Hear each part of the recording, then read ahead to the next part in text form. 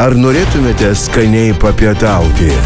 Net jei tai kainuotų gyvybę. Išgyvenimo trileris. Meniu. Kino teatruose nuo lapkričio 18. Who's hungry?